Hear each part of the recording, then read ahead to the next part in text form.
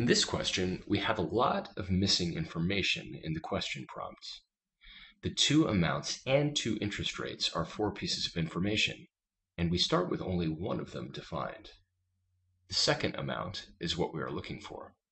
Call that x.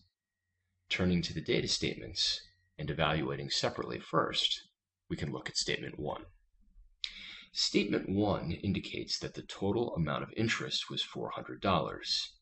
That means we can write the following expression. A bunch of variables are still missing. Even if the two interest rates were the same, we still wouldn't have enough information.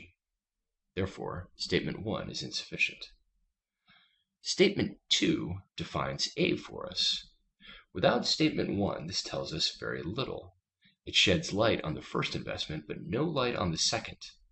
Therefore, it's insufficient. When we combine the statements, we get the following equation, plugging in the value we know for A. We still have one equation with two variables, so the statements together are insufficient. The correct answer is E.